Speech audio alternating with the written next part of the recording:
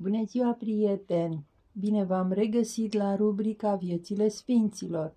Astăzi vom povesti despre viața Sfântului Cuvios Ioan, ucenicul Sfântului Grigorie de Capolitul. Latura de Capoliei altădată era împărțită în două.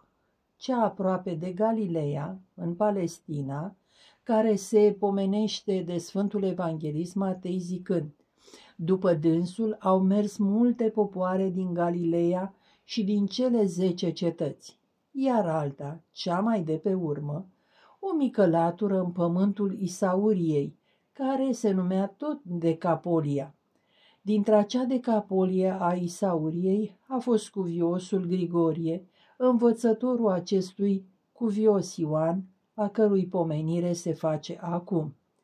Acest Sfânt Ioan, din tinerețe lăsând lumea și iubind pe Hristos, a mers la cel mai sus pomenit învățător, Grigorie de Capolitul, și de dânsul a fost uns rânduiala monahicească. Și petrecea el nevoindu-se în toate și bine plăcând lui Dumnezeu.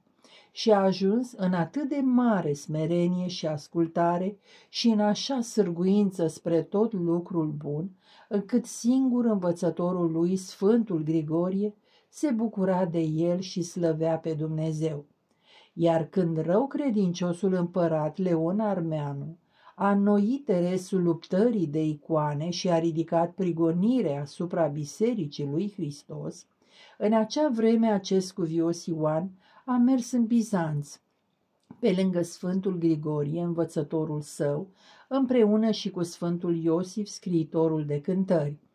Și umblând prin cetate, întărea pe cei drept credincioși ca să stea în, drept, în dreapta uh, credincioasă mărturisire. După aceea, Iosif a fost trimis la Roma, la care n-a ajuns pentru că a căzut în mâna ereticilor și a fost ținut în legături în Creta iar cuviosul Grigorie de Capolitu, după trimiterea lui Iosif, s-a mutat către Domnul, iar cuviosul Ioan, rămânând în Bisanț, se nevoia în ostenerile cele obișnuite, îngrijindu-se nu numai pentru a sa mântuire, ci și pentru a celorlalți. După câteva vreme,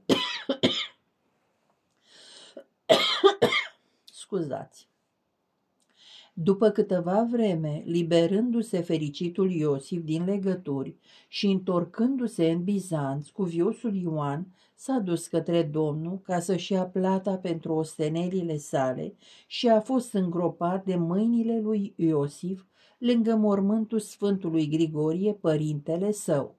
După aceea s-a mutat în alt loc despre care viața Sfântului Iosif, scriitorul de cântări, se scrie astfel. Iosif, intrând în cetate, n-a găsit între cei vii pe iubitul său părinte, pe Sfântul Grigorie de Capolitu, că se dusese către Domnul. A văzut numai pe fericitul Ioan, ucenicul lui, și a plâns mult după părintele său Grigorie, căci nu s-a învrednicit să-l vadă iarăși viu. Și a petrecut lângă mormântul aceluia împreună cu părintele Ioan, dar nu după multă vreme s-a dus și Ioan către Domnul și l-a îngropat Iosif aproape de Sfântul Grigorie.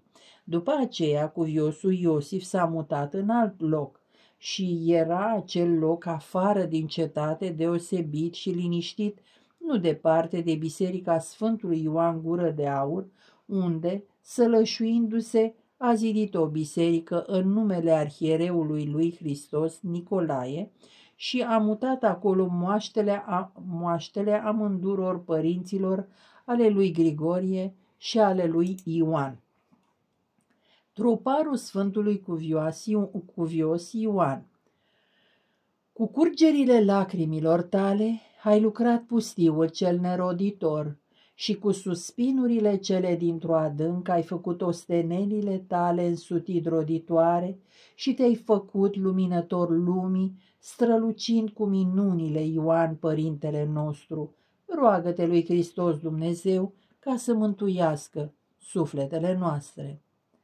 Doamne ajută, prieteni dragi, să ne revedem cu bine și sănătate și la alte filmări.